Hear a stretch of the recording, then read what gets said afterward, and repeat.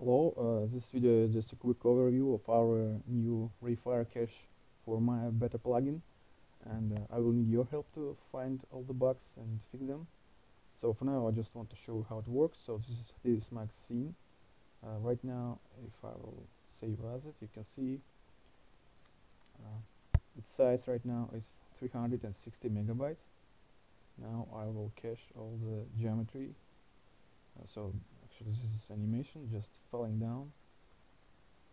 And uh, there are 3295 objects and animation. It, there are 300 frames of animation. And now let's cache all the geometry and animation.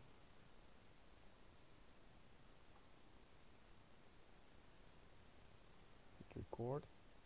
And let's call it max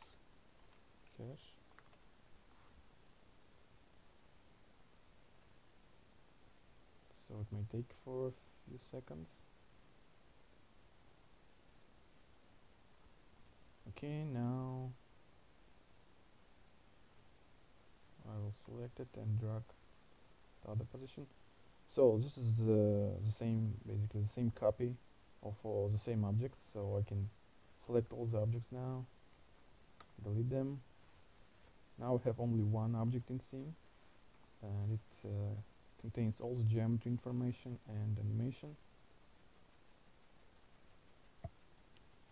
Now let's see save the scene. Cinemax and hide here cache. And uh, now uh, this fi scene file size is 276 kilobytes. And if I will take a look at the cache scene load okay here it is. So it's only 200 megabytes. And so now we can incrementally save the scene with this cache geometry and it will uh, its size always will be 200 kilobytes instead of 300 megabytes. Uh, now let's jump into Maya. Okay so this is Maya and uh, here in this uh, last tab you can find RayFire cache helper so when you click on it it opens this new tab. Here you can click on new and create helper inside scene. Now while it's selected you can go to load and uh, load this cache file. Again it may take for seconds to load all the geometry and animation. Okay it's done now. Let's set here to 300 frames and this is our new uh, geometry.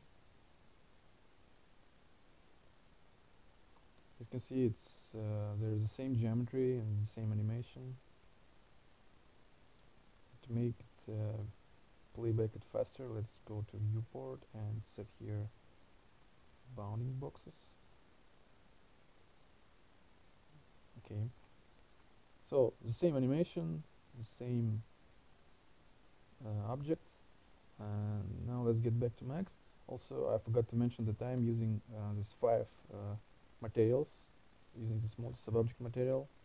And every object here uh, has uh, material different material IDs on its faces. So this is how I applied one material to all the geometry. And if you will go to Maya there's a little helper.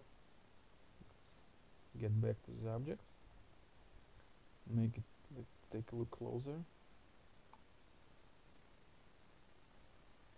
So the last uh, lot you can see this materials. So let's select some object.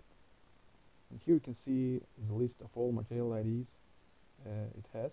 So you can select all these faces uh, selecting them here so you can see that when I select here material ID 1 it selects all these faces. If I will select material 82 here it will select all the faces here.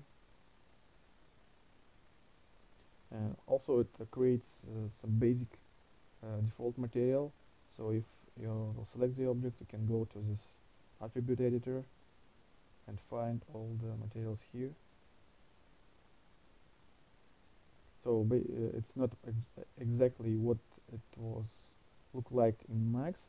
We will work on it and we will add some way to uh, store material information as well later but for now just better. So you can uh, uh, for now it just creates this default simple material so it's different colors. So you can select basically all these material IDs here randomize colors and get random colors on different material IDs so later you can apply materials you want here. So change colors or apply texture. At least you now uh, can start to adjust material so it looks like in 3ds Max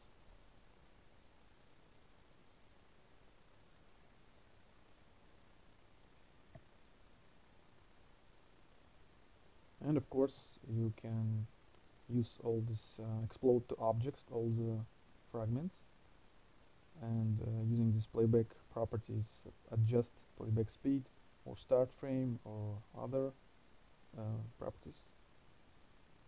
So let's actually I will just uh, explode the object for from frame 1 to frame 50 and uh, explode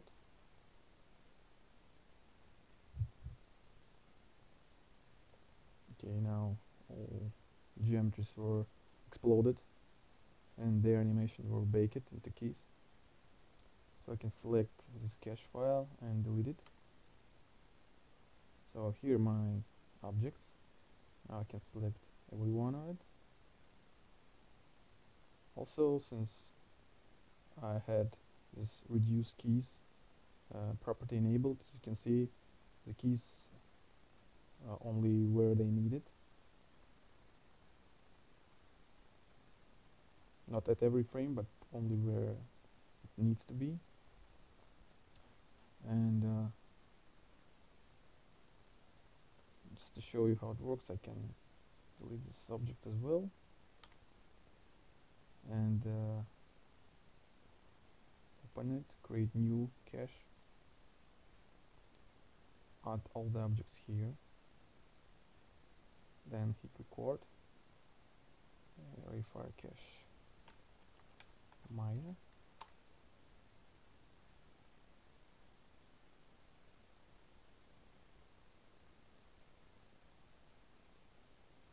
okay I recorded all the information now. Now I can get back to 3ds Max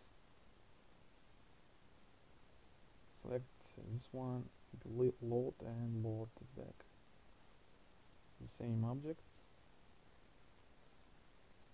same animation. And again you can go back to my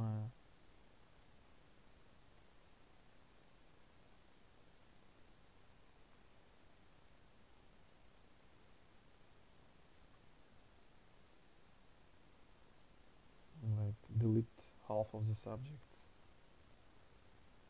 add another half and record again into the same file.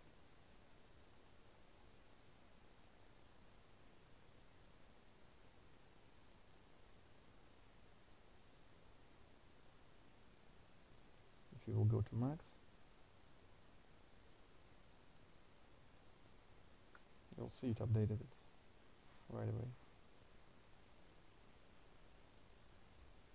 okay so if anyone want to apply for beta tests you can contact with me and I will send you builds for now it supports only uh, Windows version and uh, starting from Maya 2013 and to Maya 2016 so thank you for watching and goodbye